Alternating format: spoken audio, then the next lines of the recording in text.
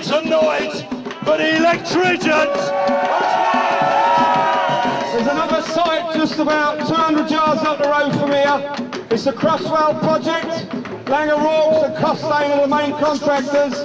They're one of the biggest blacklisters of the whole system that's been going on for the last 10 years. How about we all march down to there? Even if the blacklisting there is illegal, it's still, your name's still on file, it's still out there on the web. Firms know who you are and but we, we know people, I've, been lucky I've managed to carry on contracting self-employed. But we know people who can't get any job at all and it's blighted their whole career. It still has implications now because you go on the job and even from 10, 12 years ago the blacklist was originally compiled, you'll get a tap on the shoulder and then suddenly they don't need you no more. And the implications the same for the industry, really. All those in favour of marching down, raise your right hand and let's make some noise!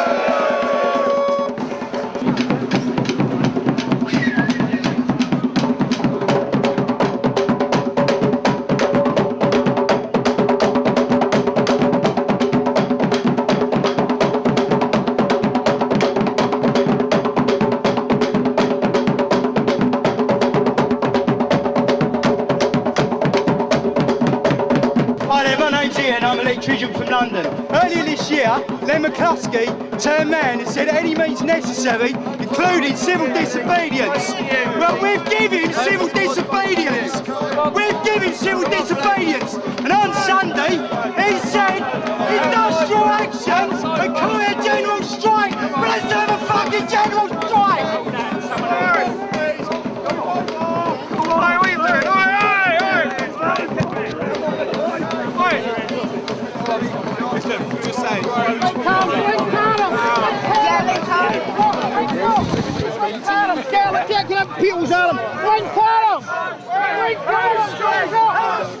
High streets, our streets, high streets, our streets, high streets, our streets, high streets, our streets. Watch your club. We're double here to go and sway them one at a time to move around on the outside and walk them around the table. Because at the moment they can't move. I'm picking you because I'm allowed to pick one person. I can have you if you want.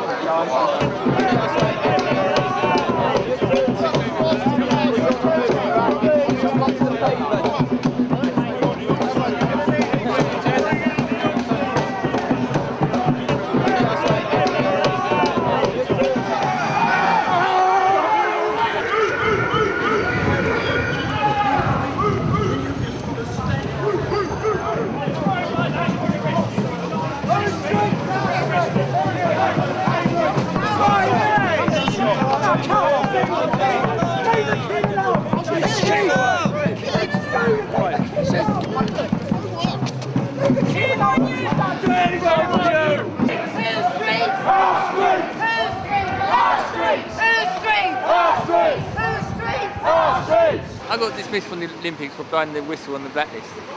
It's the biggest building site in the world and blacklisting is still going on. Immediately after that I had six months out of work, put 150 applications on the internet, over 140 applications through JIB companies. I hadn't received one job offer. Then I got a phone call from an employment agency, oh, we've got a job for you. Where do you want to start? I will start you at the Olympics. A week later, I was dismissed. The company tried to frame me for stealing a tester, £800 piece of equipment. Then about 10 minutes later, the foreman produced a tester. Uh, you haven't stolen it, I've, I've got it. So, so 10 minutes after that, he come up to my floor and says, right, you've got to leave site. I said, why is that? He said, you're leaving site because uh, health and safety issues. I said, what health and safety issues? He couldn't produce any. I was escorted off the site by two foremen. On the main, main entrance, I walked into the convener's office. I said, do you know what's going on with the blacklist? Said, you know, you know what's going on here? I said, they're doing me because of the blacklist again. I said, if you move me off this site, I'm going to have a demonstration down here Monday morning. My union will not tolerate it. The blacklist support group will not tolerate it. He made a phone call to the project director. Within five minutes, the subcontractor's main contracts manager walked into the office, shook my hand and said, sorry about that, it shouldn't have happened. Construction unions can't allow these workers to be rotting on the side of building sites anymore. They've got to turn up and they start to make some noise for these blokes. Come on down, lads. Come on, down you come, down you come.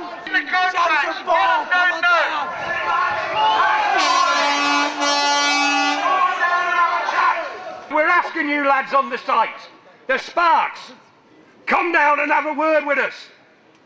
Come December the 7th, you're buggered. So come on down.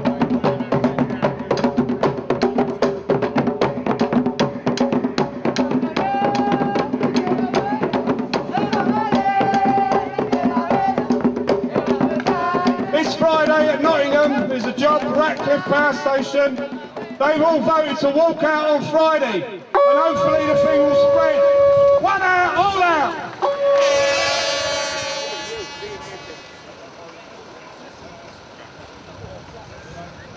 Speak, WHS, who are currently on here, currently one of the employers that are trying to break away from JIB, effectively de-skilling us. The cost us work is definitely going to cost us money. The deadline's getting closer. We've been told that if we haven't signed by December the 7th, we're sacked. So the lads are just getting sick of it. Our shop's taken the stance that we're walking today. There was a Unite demonstration planned and we just decided as a shop, our shop members decided to walk. The lads have decided that this is what we need to do and hopefully we can show the rest of the country that this is the only action that the employees understand.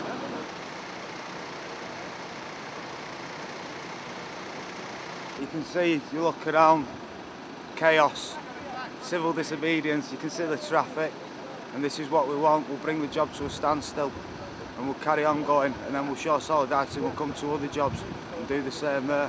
What's pleased us is a lot of people that are coming into work have sat down in the cars and listened to what we're saying. And there's an understanding that's taking place now uh, uh, amongst the people that work on these sites that an attack on one agreement potentially could result in tackle further agreements that they actually work on. There's lads come down from other jobs, we've got other trades who are out here supporting us now, which is brilliant to see. The scaffolders are out with us in support as well, there's laggers out in support. And lads just realised that if they can do this to one trade, they can do it to all. When you see companies that, that, that are making millions of pounds, you know, and shareholders taking home uh, you know, big profits from shares in, in these companies, and then you look at what the impact is on your standard of living. Uh, I think that can that can go anywhere. I mean, we're seeing you know we're seeing disquiet in the public sector on the pensions issue. Uh, and we're now seeing it now in the construction sector over issues where national agreements are being ripped up uh, and, and thrown away. And the trade unions can't stand, stand by and let that happen to their members. Just been to speak to one of them there, just to let him know what's going on, give him a leaflet. And he had a read of it and he said, look, I'm, I've got to drop this lord off because of the nature of it, but I'm not fetching my second lord in here. He said, I'm a Unite member and I'm just not crossing it.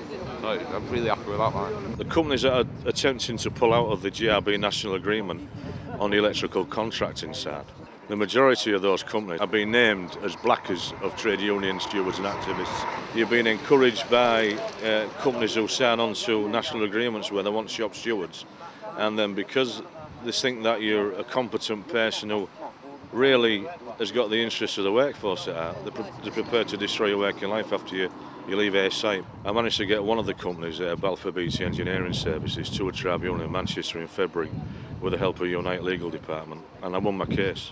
I was unemployed for months, and really the, the compensation I received really just put the money back in the bank that I had to pay to keep myself afloat. Luckily at the moment I'm in employment, but I might be in a situation where, because I won my tribunal, and probably because I'm saying this, I might be picked up again. People don't realise that this government, this uh, coalition, are attempting to make even employment tribunal legislation harder. We need to stand together, and what I will say to the lads who aren't on board now, uh, blacklisted electricians who are actually fighting for this, and when they win it, they still won't be able to work. There'll still be no jobs for them. So we need to stick together in solidarity and fight their case as well. On Monday night, John McDonnell and myself and Kelvin Hopkins tabled the following motion to Parliament. This House expresses its concern at the actions of a cartel of construction companies that are seeking to tear up the existing national pay agreement for skilled electricians, threatening hundreds of skilled workers with redundancy if they do not sign a new contract reducing their hourly wage rate by a third expressed its support for the pickets and demonstrations organised by Unite and UCATT members at construction sites across the country. I can tell you that it is working. We're starting to get access finally to these sites. Gratz have provided dates for us. Balfour Beatty have provided a date for us on the 24th of October to address everyone over at Blackfriars Bridge. Our fight is the same fight. Um, we are currently going through a contract dispute, and well, 43 workers have been laid off for two and a half months.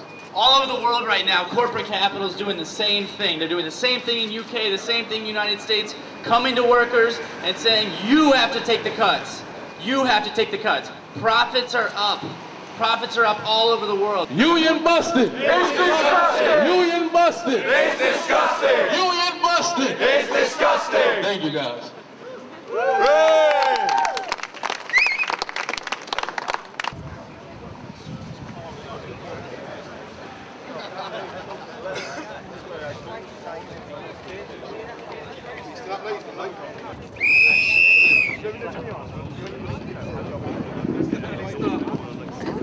Across the road, folks. Swim safe.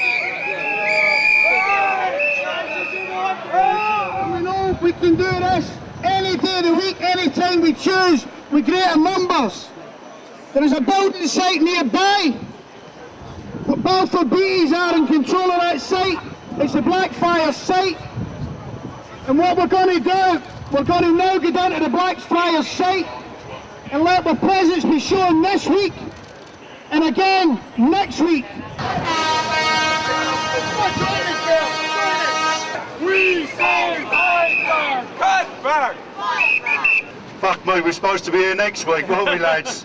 Just shows the strength of feeling and, and exactly who we are targeting. 1,600 electricians have had HR1 forms in Balfour Beatty threatening them with a sack.